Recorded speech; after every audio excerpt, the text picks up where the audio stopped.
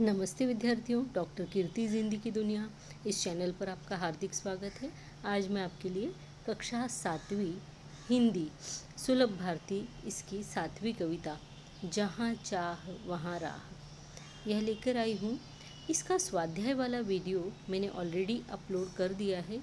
आज हम इसके स्वाध्याय के अंतर्गत जो व्याकरण का भाग दिया हुआ है उसको देखते हैं, क्योंकि वीडियो बहुत बड़ा हो रहा था, इसलिए मैंने व्याकरण के विभाग को अलग कर कर, करके आपके लिए ये अलग से वीडियो बना दिया है। आइए इसको शुरू कर देते हैं। व्याकरण विभाग में आपको भाषा की ओर इसके अंतर्गत दिया हुआ है, बच्चों, कि निम्नलिखित वाक्यों को पढ़ो और मोटे अक्षरों में छपे शब्दों पर ध्यान दो। पढ़कर उद्देश्य, विधेय अलग करके लिखो। तो यहाँ हमको उद्देश्य और विधेय क्या होता है? पहले तो ये पता होना चाहिए बच्चों, तब जाकर हम इस प्रश्न को जो है हल कर सकते हैं।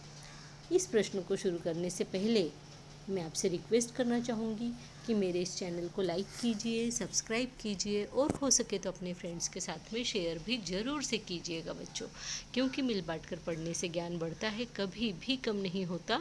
इस बात को हमेशा ध्यान में रखिए। तो बच्चों, उद्देश्य और विधेय, जैसे कि आप इंग्लिश विषय में पढ़ते हैं सब्जेक्ट एंड प्रेडिकेट तो यहाँ पर उद्देश्य जो है, किसी भी वाक्य का सब्जेक्ट है और विधेय विधेय जो है वह प्रेडिकेट है। बच्चों, आप जानते हैं कि जब हम किसी वाक्य में, किसी चीज़ के बारे में बोल रहे होते हैं तो वह क्या हो जाता है, हमारा उद्देश्य हो जाता है। वाक्य में जिसके बारे में कुछ बताया जा रहा है, वह तो उद्देश्य होता है। और उस चीज़ के बारे में जो बात बताई जाती है, वह जो है, उसका विधेय होता है। यानी ज़्यादा मात्रा में जो जानकारी हमें दी जाती है, वह विधेय कहलाता है। ठीक है बच्चों तो यहाँ पर हम लोग देखते हैं, पहला सेंटेंस आपको दिया है, हिमालय देश का गौरव है। तो यहाँ हिमालय के बारे में बात की जा रही है। किसके बारे में बात की जा रही है बच्चों? हिमालय के बारे में बात की जा रही है। तो हिमालय यहाँ पर उद्देश्य हो जाएगा और देश का गौरव है। तो हिमालय क्या है? हिमालय के बारे में ज़्यादा जानकारी आगे दी जा रही है। तो ये जो देश का गौरव है, यह हमारा विधेय हो जाएगा। ठीक है बच्चों? तो कहने का मतलब उद्देश्य के बारे में जो जानकारी दी जाए दी जाती है उस जानकारी को हम विधेय कहते हैं। दूसरा सेंटेंस आप देखते हैं बच्चों महासागर अपने दे, अपने देश के चरण पखारता है। तो महासागर के बारे में बात की जा रही है तो महासागर जो है वह उद्देश्य हो जाएगा बच्चों सब्जेक्ट हो जाएगा है ना? और ये जो बचा हुआ जितना पोर्शन है ये सब विधेय हो जाएगा क्योंकि यहाँ महासागर के बारे में एक्स्ट्रा जानकारी हमें दी गई है। निखिल कश्मीर घूमने गया था तो निखिल हमारा उद्देश्य हो जाएगा बच्चों, क्योंकि निखिल के बारे में बात की जा रही है। क्या बात की जा रही है कि वह कश्मीर घूमने गया था? तो यह जो कश्मीर घूमने गया था, यह विधेय है। आगे देखो बच्चों। मुंबई देश की आर्थिक राजधानी है। तो मुंबई के बारे में बात की जा रही है, इसलिए मुंबई जो है वह उद्देश्य है और देश की आर्थिक राजधानी है, उसके बारे में थोड़ी ज़्यादा जानकारी हमें दी जा रही है, इसलिए वह जो है विधेय है। परिश्रम सफलता की कुंजी है। परिश्रम के बारे में बात की जा रही है, इसलिए परिश्रम जो है वह उद्देश्य है। परिश्रम के बारे में थोड़ा ज़्यादा बताया जा रहा है ना, उसके बारे में हमें और कुछ बताया जा रहा है। इसलिए वह क्या हो जाएगा? विधेय हो जाएगा बच्चों। तो देखो, आगे मैंने यहाँ पर इसको सॉल्व करके दिया है। हिमालय देश का गौरव है है ना? उद्देश्य और विधेय अलग करके लिखना है ना? तो हिमालय देश का गौरव है। उद्देश्य क्या है? हिमालय विधेय देश का गौरव है। दूसरा दिया है, महासागर अपने देश के चरण पखारता है। तो उद्देश्य क्या हो जाएगा बच्चों? महासागर विधेय अपने देश के चरण पखारता है। निखिल कश्मीर घूमने गया था।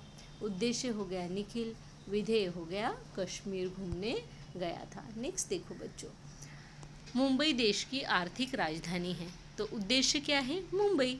और विधेय क्या हो जाएगा? देश की आर्थिक राजधानी है। आगे देखते हैं, परिश्रम सफलता की कुंजी है। कुंजी का मतलब होता है बच्चों, चाबी, की, है ना? तो उद्देश्य जो है वह परिश्रम हो जाएगा और विधेय जो है वह सफलता की कुंजी है, ये हो जाएगा।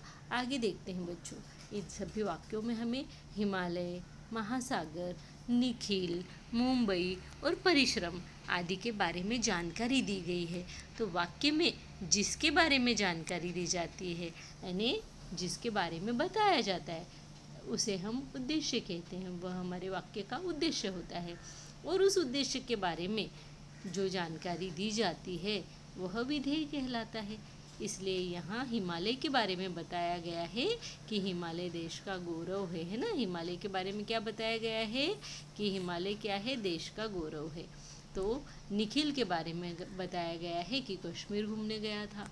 मुंबई के बारे में बताया है, देश की आर्थिक राजधानी है। और परिश्रम के बारे में बताया है, सफलता की कुंजी है। इसीलिए यह सभी यहाँ पर विधेय है।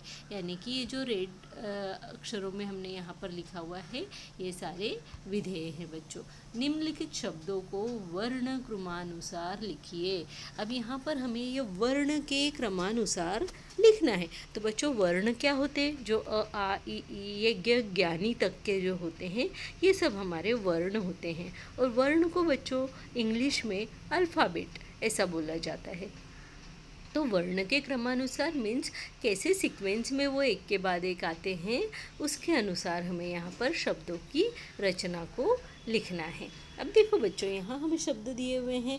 ये संबा पाठशाला, वर्ग, तालियाँ, बंजर, असंभव, विद्यार्थी, निरीक्षक और संगणक।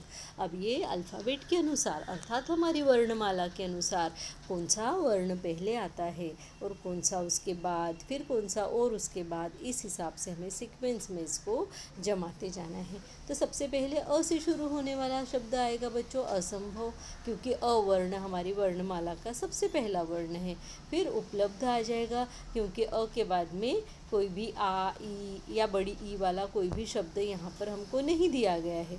फिर ऊ वाला दिया है तो हमने उपलब्ध लिखा। उसके बाद में आप ऊ के बाद में देखेंगे तो ए आई ओ, औ, अम, आहा कख गघन चछ जझन टठ डढन है ना? तथ दधन फिर यहाँ पे त शुरू हुआ। इसके बीच में चछ जझन यहाँ तक हमें कुछ भी नहीं दिया हुआ था। सीधे त दिया हुआ है तो तालियाँ तालियाँ के बाद में त थ द ध, न न आता है, इसलिए निरीक्षक। फिर प, फ, ब, भ, म तो पाठशाला, है ना? प प, फ, ब, फिर ब, बंजर और बरगद आ जाएगा बच्चों। प, फ, ब, भ, म, य, र, ल, व, श तो य आ जाएगा, ये संभा, य, र, ल, व व, य के बाद में आने वाला व तो विद्यार्थी, और य, र, ल, व, श श, स, ह, श, स। तो संगणक, है ना? इस तरीके से हम वर्णमाला के अनुसार जो है, यहाँ पर इसको क्रमानुसार, यानी सीक्वेंस के अंदर इसको लगाते हैं। तो बच्चों, ये प्रश्न आपको समझ में आया होगा अच्छे से। आप बड़ी इजीली कर पाएँगे। आप जब डिक्शनरी देखते हैं तो डिक्शनरी में जो है, इसी तरह से वर्णमाला एक के बाद एक जो है सीक्वेंस वाइज दिए हुए होते हैं शब्द वर्णमाला के। वर्णमाला से बने हुए। तो बच्चों, आपको ये समझ में आया होगा? देखते हैं अगला प्रश्न। कहानी में आए विराम चिन्ह चुनकर उनके नाम लिखो। बच्चों, विराम चिन्ह विराम चिन्ह आप देख रहे हैं यहाँ पर। वही नाला गुरुजी, नंबर वन। इसमें कौन कौन से विराम चिन्ह हैं? विराम चिन्ह यहाँ पे दोहरा अवतरण है। तो ये देखिए बच्चों, यहाँ पे ये डबल इन्वर्टेड कॉमा दिया है ना? इसको हम दोहरा अवतरण चिन्ह ऐसा बोलते हैं। ठीक है? दूसरा हमारे पास पूर्ण विराम इसमें दिया हुआ है। ये देखिए बच्चों, यहाँ पूर्ण विराम है। मराठी में डॉट होता है पूर्ण विराम और हिंदी में जो है स्टैंडिंग लाइन होती है, उसे हम पूर्ण विराम कहते हैं। दूसरा हमें दिया है, अरे, इस बरगद के पेड़ में भूत है। तो यहाँ पर देखो बच्चों, ये हमें विस्मय सूचक चिन्ह दिया हुआ है। इसको हम मराठी में उद्गारार्थी चिन्ह बोलते हैं, है ना बच्चों? और यहाँ पर हमारे, हमें पूर्ण विराम दिया हुआ है तो हमने पूर्ण विराम ऐसे दो हमें यहाँ पे विराम चिन्ह दिखाई देते हैं। आगे देखते हैं बच्चों, जहाँ चाह वहाँ राह। अब जहाँ चाह वहाँ राह में हमें सिंगल इन्वर्टेड कॉमा दिखाई देता है बच्चों, जिसे हम हिंदी में इकहरा अवतरण चिन्ह कहते हैं और इसी को मराठी में एकेरी अवतरण चिन्ह ऐसा कहा जाता है। उसके अलावा हमें पूर्ण विराम तो दिख ही रहा है, साथ में यहाँ पर हमें अल्प विराम भी दिखाई दे रहा है। बच्चों नंबर चार देखते हैं, क्या हम में से किसी ने भूत देखा है? तो यहाँ पर प्रश्नवाचक चिन्ह जो है, वो दिया हुआ है। यहाँ पर आप प्रश्न सूचक चिन्ह या प्रश्नवाचक चिन्ह ऐसा कुछ भी लिख सकते हैं। बच्चों, दोनों ही सही है। पाँच नंबर पे देखते हैं। ये संभा गाँव की पाठशाला की घंटी बजी। अब यहाँ पे देखिए, कहीं पर हमें कोई भी चिन्ह नहीं दिखाई दे रहा है। सिर्फ़ अंत में हमें पूर्ण विराम ही दिखता है। इसलिए हम लिखेंगे यहाँ पर पूर्ण विराम छः नंबर में आपको दिया है बच्चों, जब कभी शहर गए हैं बड़े बड़े पुल भी देखे हैं। तो यहाँ आप देखोगे बच्चों, यहाँ पर आपको जो है अल्प विराम दिखाई दे रहा है, ये अल्प विराम है। यहाँ पर ये हमें योजक चिन्ह दिखाई दे रहा है बच्चों, ये योजक चिन्ह है और यहाँ ये जो है, ये पूर्ण विराम है बच्चों, ठीक है? इस तरह से सातवां नंबर हमें दिया हुआ है कि वहाँ बच्चे वहाँ बैठे बच्चे ज़ोर ज़ोर से हंसने लगे। तो अब यहाँ पर भी आपको देखिए बच्चों, सबसे पहले तो ये योजक चिन्ह दिखाई दे रहा है और यहाँ पे ये पूर्ण विराम दिखाई दे रहा है। इस तरह से हमने विराम चिन्हों को देखा। बच्चों, अगला प्रश्न आपको इस तरीके से आ सकता है इस लेसन में से कि जहाँ चाह, वहाँ राह, पाठ से हिंदी मराठी समोच्चारित शब्दों की सूची बनाओ। यानी हिंदी और मराठी में दोनों ये शब्द जो है बोले जाते हैं। लेकिन दोनों भाषाओं में इनके अर्थ जो है, वह अलग अलग होते हैं। तो ऐसे हिंदी मराठी में देखो, बच्चों, कलम कलम शब्द हिंदी में भी है, मराठी में भी है। कांच, काठी, काठ ये जो शब्द है ना बच्चों, ये हिंदी और मराठी दोनों शब्द, दोनों भाषाओं में आते हैं। तो इन इन शब्दों का स्पेशली मराठी में क्या मीनिंग होता है और हिंदी में क्या मीनिंग होता है, वह हमें यहाँ पर बताना है। तो कलम शब्द जो है बच्चों, इसका मराठी में अर्थ होता है कानून की धारा या दफ़ा, जबकि इस कलम को हिंदी में बोला जाता है लेखनी या पेन, जिससे हम लिखते हैं कलम, है ना? और बच्चों, दूसरा शब्द दिया है कांच। कांच को मराठी में बोला जाता है पीड़ा या यंत्रणा। पीड़ा तकलीफ़, है ना बच्चों? और हिंदी में कांच का अर्थ होता है शीशा, आईना, है ना? मिरर बच्चों। और काठी काठी शब्द जो है मराठी में काठी का अर्थ होता है डंडा या छड़ी, जबकि हिंदी में इसका अर्थ होता है घोड़े की पीठ पर कसने की जीन। है ना, घोड़े की पीठ के ऊपर जो जीन कसी जाती है ना वो, और काठ काठ का हिंदी में सॉरी मराठी में अर्थ होता है किनारा या तीर, नदी का किनारा, नदी का तीर, जबकि हिंदी में इसका अर्थ होता है पेड़ का सूखा हुआ मोटा अंग, यानी उसका तना, है ना बच्चों? आगे देखते हैं। हिंदी समो हिंदी मराठी समुच्चारित शब्द दिया है काय। काय मराठी में उसका अर्थ होता है क्या? है ना, जबकि हिंदी में उसको कांटा ऐसा बोला जाता है, कांटा को काय भी बोला जाता है हिंदी भाषा में। अब देखो, हिंदी मराठी समुच्चारित शब्द दिया है काला, इसको मराठी में बोलते हैं मिश्रण। तो काला यानी मिश्रण कैसे बच्चों? जब छोटे बच्चे होते हैं, उनको अगर दाल रोटी मिक्स करके खूब चूर के उसको नरम करके खिलाया जाता है तो उसको कहा जाता है काला गोपाल काला गोपाल काला है ना? वो गोपाल काला में क्या करते हैं बच्चों? सब तरह के पदा पदार्थों को मिलाकर और प्रसाद बनाया जाता है। तो काला मीन्स मिश्रण है ना? आ, और हिंदी में इसी काले का अर्थ होता है काला रंग खाता। खाता को मराठी में बोलते हैं विभाग यानी डिपार्टमेंट और उसी को हिंदी में तालाब भी बोला जाता है। बच्चों, यहाँ पे खाता और खाती शब्द भी आता है। खाती को भी तालाब बोला जाता है बच्चों। अब देखिए, हिंदी मराठी समुच्चारित शब्द है खाद। खाद को खाने की चीज़, यानी खाद्य पदार्थ वगैरह, इस तरीके से हम मराठी में उसको यूज़ करते हैं। जबकि हिंदी में खाद का अर्थ होता है उर्वरक फर्टिलाइज़र बच्चों, है ना? और हिंदी मराठी समुच्चारित शब्द दिया है गार। गार का मतलब मराठी में होता है ठंडा। है ना? एकदम ठंडा। जबकि हिंदी में उसका अर्थ होता है ओले या बर्फ़ का गोला। बच्चों गार्या। गार्या यानी मराठी में आ, मतलब उसको भी ओला कहा जाता है। ओला ओले को गार्या भी कहा जाता है। लेकिन यहाँ गार शब्द दिया है ना बच्चों? इसलिए हम यहाँ पे ठंडा लिखेंगे और यहाँ पर लिखेंगे ओले या फिर बर्फ़ का गोला।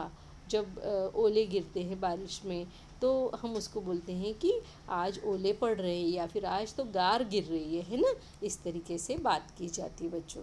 आपको वीडियो कैसा लगा, मुझे बताइएगा ज़रूर। मिलती हूँ आपसे किसी अच्छे से वीडियो में। तब तक के लिए धन्यवाद। अपने फ्रेंड्स के साथ में शेयर करना बिल्कुल भी न भूलें।